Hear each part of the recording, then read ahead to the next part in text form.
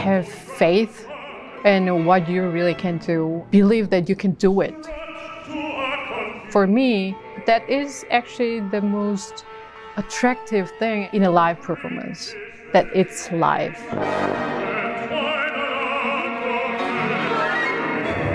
It's an art of the moment, that instant moment. Because when music is gone, it's gone, but it remains somehow in your body and your soul. That's the transformative power of music.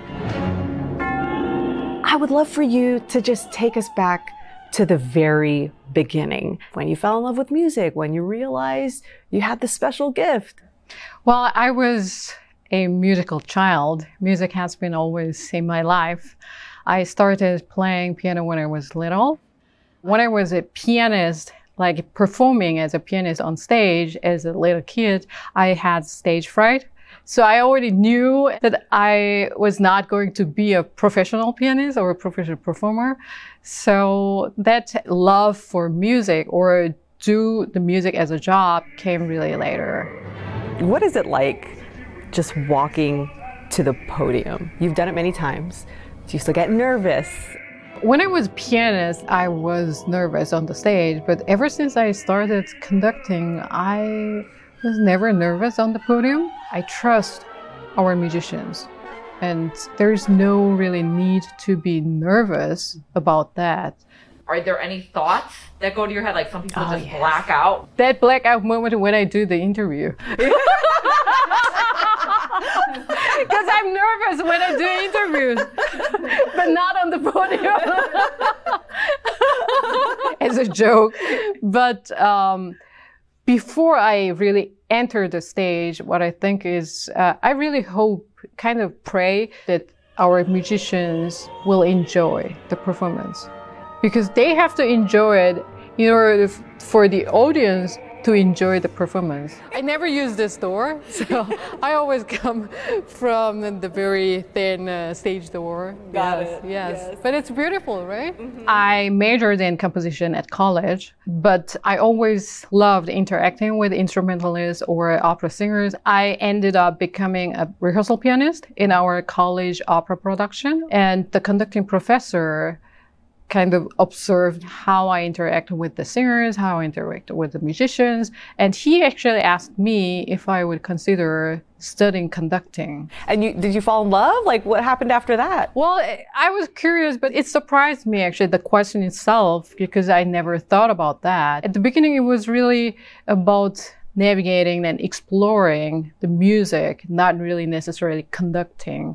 And as I studied in Germany and as I participated in competitions and in other projects, I kind of realized that it could become my job.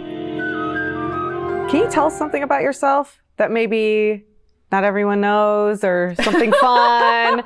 Like, can you do something real? Like, for, for example, me, like, I can pop my shoulder out of my, like, out of the socket. Is there anything, not like that, but you know, something unique about you that not a lot of people know yet? I don't know. I, I think so many people say to me that you laugh a lot. I think when people think like a conductor, I think they imagine like a person who is very serious and never laughs. Maybe I'm uh, not a classical conductor or that image of that conductor. What do you want the audience to take away from the performances? everything and anything.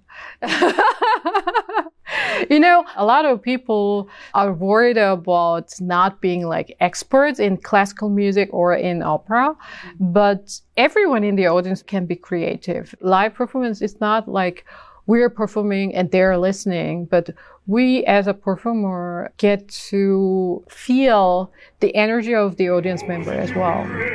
The musicians who work with you, they describe you in a different way. They say you are very supportive, collegial, without being overbearing.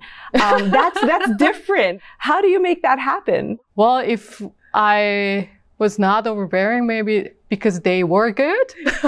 there was no need to, for me to be overbearing. But I think being a conductor or being a music director is being a leader as well. And as a leader, I think it's very important to support all the professionals, whether it's orchestra musicians or singers. My job is, I think, to support them to do their work at their best.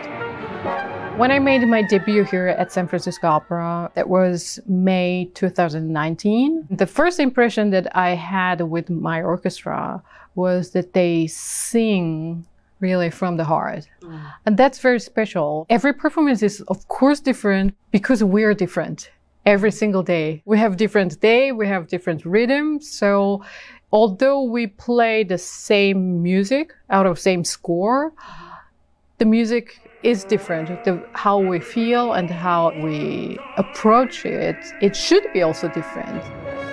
Have you been able to enjoy the Bay Area at all? I know you're so busy, but.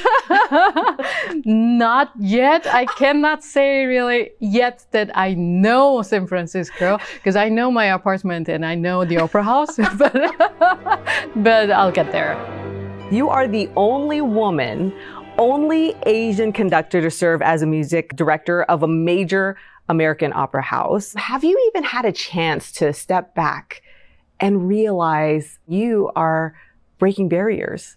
After the performances, I get to meet a lot of audience member across the gender, across the generations.